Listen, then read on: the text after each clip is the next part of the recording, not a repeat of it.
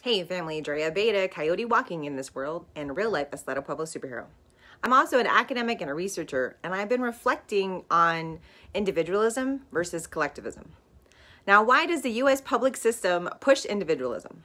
Because it shifts the blame from structures and biases within our society, like Islamophobia, gender discrimination, homophobia, and it shifts the blame, right, to individual people. You, as an individual, are to blame because you didn't bootstrap yourself into success. It also ignores factors like white privilege and class privilege. Sociology has long proven that wealth is inherited, and that if you're born in middle class, you're likely to stay there, and if you're born poor, you're likely to stay there.